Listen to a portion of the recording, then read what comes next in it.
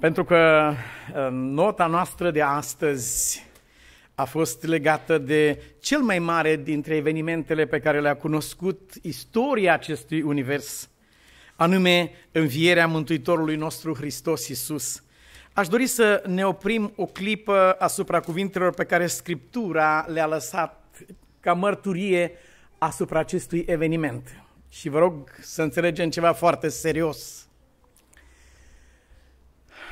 Ceea ce hrănim în noi e o lege pe care Dumnezeu nu o neagă. Ceea ce hrănim în noi, aceea se, aceea se va dezvolta. Ceea ce nu hrănim în noi, înfometăm, însetăm, uscăm, aceea va muri. Ce credeți? Săptămâna trecută, un tată aici în Florida, din Jacksonville, umblă în ghiozdanul copilului. În ghiozdanul copilului găsește o hârtie, cum am zice noi în România, știu o lucrare de control, o, o temă, o găsește acolo o temă și tatăl rămâne încremenit când vede ce a răspuns copilul lui la extemporalul acesta. Ce scria pe hârtie? Scria, sunt dispus să renunț la drepturile și libertățile pe care mi le acordă Constituția Statelor Unite ale Americii ca să pot să capăt apărare și siguranță. Sunt dispus să renunț. Copilul era în clasa 4 Este adică. E în clasa 4 Merge la una din școle din Jacksonville. Când tatăl a citit așa ceva în ghiozdanul copilului lui, cum adică un copil de clasa 4 ce face? Un copil de clasa 4 renunță la Constituție ca să fie protejat săracul.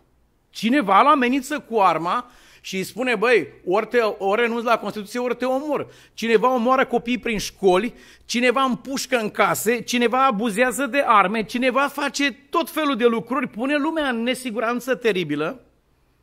După aceea, după ce a pus pistolul în gât, îl obligă ce legătură fi având aceasta, e greu de explicat, îl obligă și bietul copil în clasa 4 scrie renunț la Constituție ca să am siguranță, să fiu, să trăiesc în siguranță. Tatăl a mers la școală imediat și a spus, vreau să știu ce înseamnă acest lucru. Eu am fost în, pus într-o situație fără precedent în viața mea, n-am gândit că un copil de clasa 4 am zâmbit.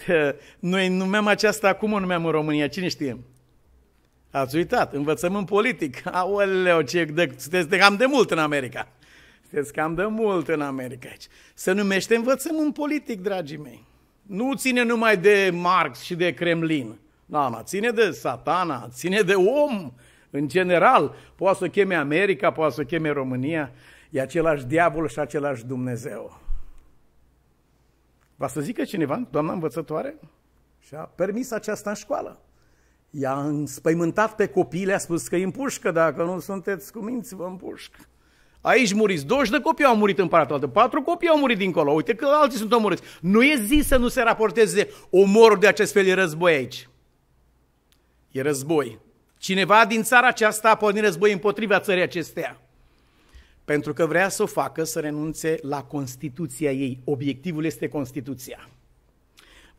Sunt, nu sunt politician. Dacă aș fi fost, cred că făceam un pic de treabă. Dar nu sunt. Știu însă că în credința creștină există o Constituție. Și știu că tot ce se întâmplă astăzi pe pământ încearcă să mă facă pe mine să dau drumul din mâna acestei Constituții ca să pot să mă bucur chipurile de viața aceasta.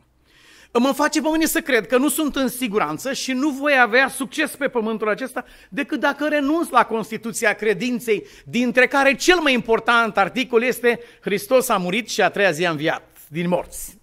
Dacă acest lucru este adevărat, totul stă în picioare. Dacă acesta nu e adevărat, totul cade. Aceasta este Constituția. Uh, iubiții mei, uh, chiar dacă cineva ar încerca să dea explicații la ce se întâmplă acum în Statele Unite, vă rog să nu cumpărați așa, așa rugine, așa lucruri ieftine de pe piața aceasta de materiale plastice. Nu cumpărați așa ceva. Este clar. Ceea ce a făcut din țara aceasta ce se vede este Constituția ei. Țara aceasta nu poate fi înfrântă și prăbușită la pământ decât dacă este atacată din interior. Din exterior nu e posibil. Din exterior nu suflă nimeni. Dar ce folos că în exterior sunt portavioane și uh, armament și pregătirile acestea dacă în interior doamna învățătoare îl învață pe copil sub spectrul spaimei să scrie sărmanul pe lucrarea lui de control, renunț la drepturile mele prin Constituție ca să fiu protejat, să nu fiu împușcat. În timp ce America va câștiga războiul în altă parte unde a plecat, îl va pierde în interior. Și când se va întoarce în țară, soldatul care a luptat și a dat viața cine știe unde, nu-i rămâne decât să fie unul din cei 8.000 care se sinucid în fiecare an aici înapoi în America. Nu va mai găsi țara pe care a lăsat-o. Se va întreba pentru ce am luptat, pentru ce mi-am vărsat sângele, ca să putem, pot să păstrez libertatea și principiile pe care această țară este zidită. Astăzi, când noi stăm de vorbă, sunt creștini martirizați în nenumărate țări ale lumii pentru această credință în învierea lui Isus. Lui Isus. Și ce ieftin se vinde acest lucru la bar sau la magazin sau la magazinul de mașini sau la bancă sau ce ușor se vinde acest lucru. Și când acela care și-a dat viața pentru așa ceva se întoarce înapoi în lumea lui creștină, nu mai poate să recunoască țara, găsește altceva. Găsește o lume atât de diferită. În, te- în capitolul acesta din 1 Corinteni 5, unde este uh, vorbit despre Paște, uh, cum să sărbătorim această sărbătoare, care este semnificația ei pentru noi. Aș vrea să vă întreb unde, cum se intitulează capitolul unde este acest verset 8 uh, și 7 și 8 în capitolul 5. Cum se intitulează capitolul? Cine știe? Mulțumim. Se intitulează Curvarul din Corint. Uh. Ce caută textul despre Paște aici? Capitolul se intitulează Curvarul din Corint. Credeam că vorbim despre acest lucru. Credeam că strângem un comitet, votăm și excludem pe Curvarul din Corint. Când colo se face, uh, Duhul Sfânt face un apel la sufletul nostru pe o cale inegalabilă și ne spune măturați aluatul cel vechi ca să fiți o plămădeală, cum și, o plămădeală nouă cum și sunteți, fără aluat. Care este argumentul? Căci Hristos, Paștele noastre, a fost jertfit. N-ai cum să trăiești așa dacă într-adevăr crezi că Hristos, Paștele noastre, a fost jertfit. Constituția creștină nu este o înșiruire de cuvinte. Este o putere, este un mod de viață. Este ceva care poate fi scris de către unul care îl vede din afară, fără să audă nicio predică. Îți vede viața și poate să scrie Constituția lumii de care aparții. Când vede cum trăiești, apelează la această biserică dacă într-adevăr ați crezut că Hristos este Paștele noastre dacă într-adevăr ați crezut că El a fost răstignit, a fost înmormântat, a înviat a treia zi pentru mântuirea noastră și neprihănirea noastră. Dacă ați crezut aceste lucruri, atunci măturați aluatul cel vechi ca să fiți o plămădeală nouă. Nu putem să le amestecăm? Adică să punem și aluatul cel vechi și cu ceva plămădeală nouă și poate iese ceva.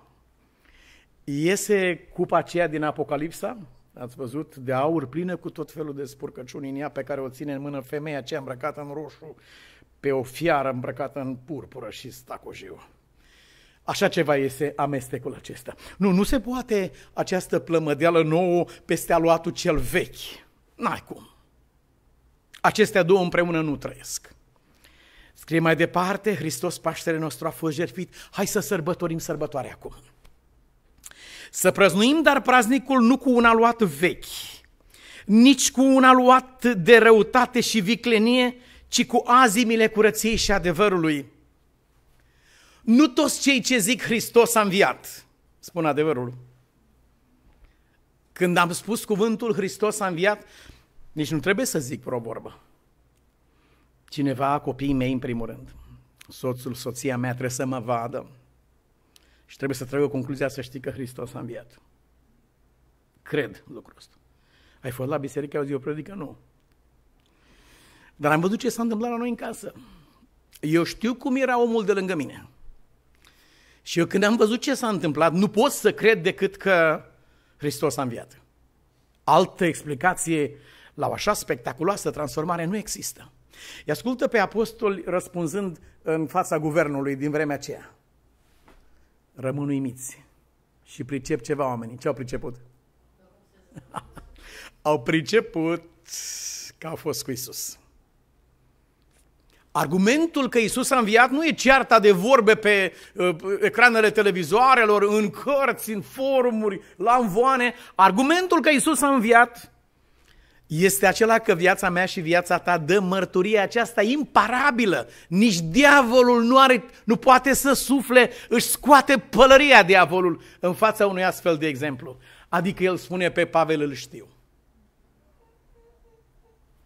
Scurt, inclusiv diavolul. Să nu mai vorbim de lumea înconjurătoare, cel mai puternic argument în favoarea adevărului.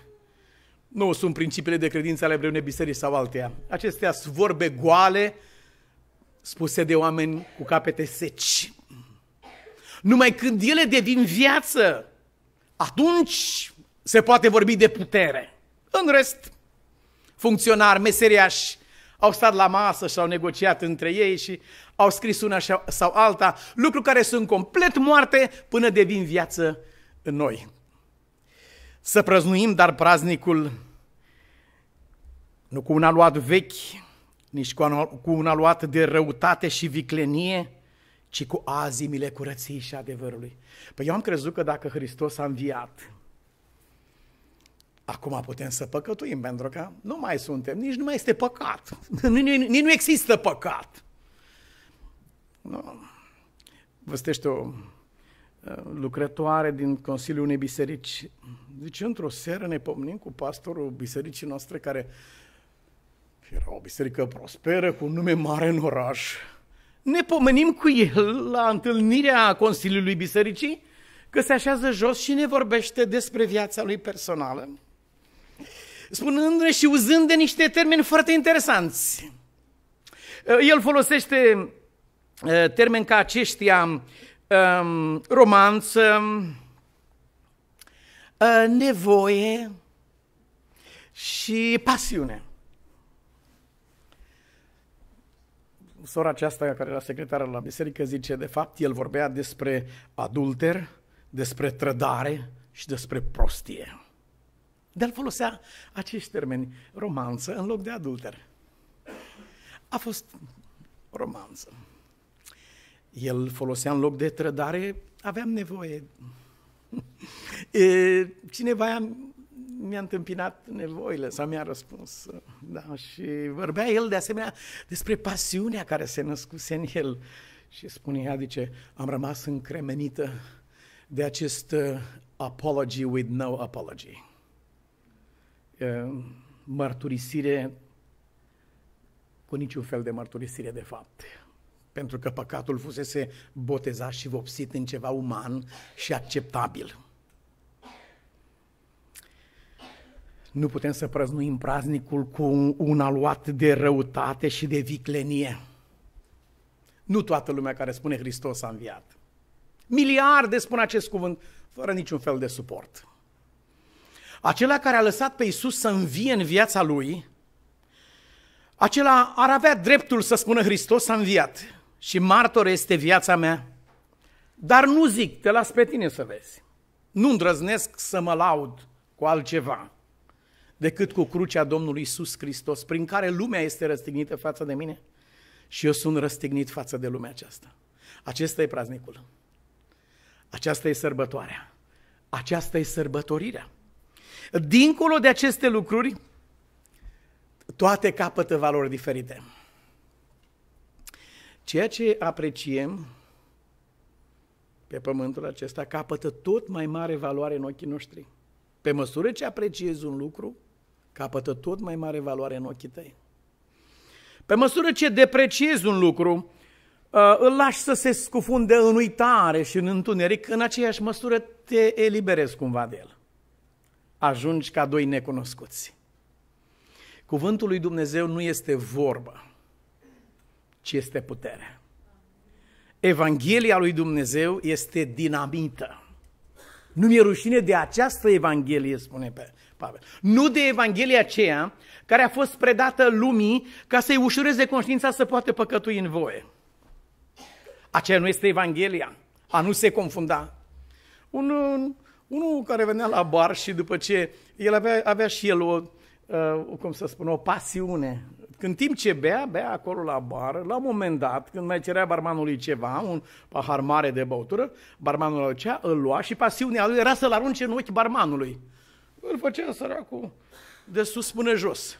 Și s-a întâmplat treaba aceasta odată de două ori și după, după aceea i-a spus, uite, din momentul de față am dreptul să-ți refuzi intrarea în această, nu mai poți să intri în această cârciumă, decât după ce vei face dovada că ai fost la un psiholog, ai trecut prin niște cursuri de uh, evaluare a minții și manierul, după aceea mai stăm dar până atunci să știi că dacă mai calci ceea ce chem poliția. După un timp apare omul. Tuns liniștit, tânăr, frumos, aranjat, are certificat, a fost la psiholog. Poftim, intră înapoi în cârciumă. Bea, bea, bea, până la jumate i-a aruncat paharul în ochi cârciumarului. Bietul cârciumar rămâne tâmpit. Păi domnule, ai spus că ai fost la psiholog. Care e diferența? Zice, e mare diferență. Înainte, când îți dăm cu paharul, mă mustra conștiința trei zile, acum niciun pic. acum de cât dau și din clipa asta am terminat. Aceasta nu este Evanghelia. Iubiții mei, aceasta a fost vinul care a îmbătat popoarele, care le-a spus că Harul lui Dumnezeu se poate transforma în desfrânare. Deși Biblia a spus că Harul lui Dumnezeu care aduce mântuire pentru toți oamenii, nu este o simplă vorbă, nu este un acoperământ pentru fără de lege, ci este o putere. O putere care duce la mântuire, care schimbă viața, care pătrunde în interiorul nostru. Acesta este, spune Petru, adevăratul har, dovadă că există și un fals har. Harul lui Dumnezeu care aduce mântuire pentru toți oamenii a fost arătat și ne învață să o rupem cu păgânătatea. Și să trăim în veacul de acum cu cumpătare, cu dreptate. Ăsta este, și Evlavie, acesta este adevăratul har. Să prăznuim dar praznicul cu azimile curăției și nu, nu cu un aluat de răutate și viclenie, nu cu un aluat vechi, ci cu azimile curăției și adevărului. Aceasta este chemarea pe care Dumnezeu ne-a adresat-o. Nu spune cuvintele Hristos a înviat dacă n-ai de gând să schimbi viața. Eu bat jocură solemnă aceasta. Îți bat joc de numele lui Dumnezeu. Râzi, îi râzi în față n-ai de gând să te schimbi. Nu spune că sărbătorești sărbătoarea Paștelui, când nu ai nimic în tine, robul tău n-a fost nicăieri. Ai fost undeva, întreabă Elisei, nu, n-am fost nicăieri, n-am făcut nimic. Ă, nu spune că sărbătorești praznicul atunci când te întorci din Valea fără de legi și spune Ieremia, te ștergi la gură și n-ai făcut nimic. Prăznuirea praznicului se face cu azimile curăției și cu azimile adevărului. Acestea două la un loc. Aceasta este adevărata sărbătorire a Paștelui. Mă bucur enorm că am cântat cântările acestea. A fost așa de frumos, așa de mișcător să putem să cântăm aceste cântări. Dar în același timp, când mă gândesc bine la ce cântăm, când mă gândesc la cuvintele acestea care însoțesc muzica aceasta pe care o pronunțăm, parcă sunt înfricoșat și mă întreb, asemenea poetului, dintre atâtea vase care lasă malurile, câte oare le vor sparge vânturile, valurile? Dintre sutele acestea de catarge, câte oare? Dintre noi toți care cântăm aceste cântări, cine vrea să le ia la inimă? Cine crede că nu e ceva de joacă și nu este o formalitate odată pe an? Cine vrea să ia la suflet? Cine vrea să sărbătorească sărbătoarea într-adevăr? Sigur, Dumnezeu nu a cerut de la cineva dintre noi ceea ce nu avem sau nu suntem. Niciodată nu a cerut ceea ce nu ne-a dat. Niciodată nu ne-a întrebat despre ceea ce nu știm. Nu. No. El știe acest lucru. El nu ține seamă de vremile de neștiință. El ține seamă de neputințele noastre. Am multe să vă spun, dar nu le puteți purta și așa mai departe. Uimitoarea lege a aratului, a semănatului și seceratului se manifestă, se manifestă atât de ciudat și de diferit când e vorba de Paște. Ce seamănă omul aceea va secera? E adevărat, se aplică la caracterul nostru, la banii noștri, la ceea ce însemnează viața aceasta. Dar cât privește Paștele, acolo omul seamănă păcatele lui și secere neprihănirea lui Hristos. Nu se aplică legea aratului și semănatului, se, semănatului și seceratului. Se aplică o lege ciudată pe care numai Dumnezeu poate să o justifice. Spun aceasta pentru că ea a lăsat fără scuză omenirea. Zice Pavel ca să astupe gura tuturor oamenilor. Adică nu există niciun fel de justificare pentru cineva să continue cu aluatul cel vechi al vieții lui. Nu. Este deschis pentru fiecare om un izvor de curățire, într-adevăr. Vrea cineva să se curețe de păcatul lui sau păcatul lui îi este așa de scump că vrea să continue. În zadar curge izvorul de curățire când un om își strânge fără de legea la piept. Dumnezeu nu o va smulge.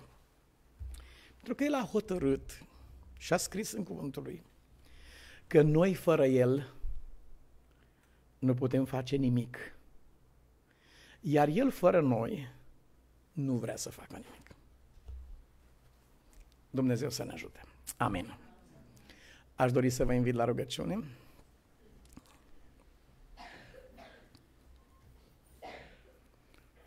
Cerescule Tată, îți mulțumim pentru această sărbătoare la care suntem martori și suntem chemați să sărbătorim pentru această cinste înfricoșătoare pe care ne-o acorzi Tu, Doamne, pentru că Paștele nostru nu este o zi sau un ritual, ci este o persoană. Iisus Mântuitorul este Paștele nostru. Pentru că Paștele nostru este în fiecare zi. Astăzi, Doamne Iisuse, venim să-ți mulțumim pentru rănile tale deschise, care au dus vindecarea noastră. Prin rănile tale am fost vindecați. Ajută-ne să nu uităm acest lucru. Și ajută-ne, Doamne, să sărbătorim această sărbătoare prin însăși viața noastră, cu azimile curăției și cu azimile adevărului. Și ajută-ne, Doamne, ca sărbătoarea aceasta să devină speranță pentru cel de lângă noi, care să înțeleagă și să creadă că Isus a înviat. Îți mulțumim pentru făgăduințele tale nespus de mari și scumpe, care au pătruns în viața noastră. A făcut dezastre nemaipomenite în lumea păcatului și a făcut să înflorească lumea neprihănirii, căci prin rănile tale, Doamne Iisuse, astăzi lumina este în lumea aceasta.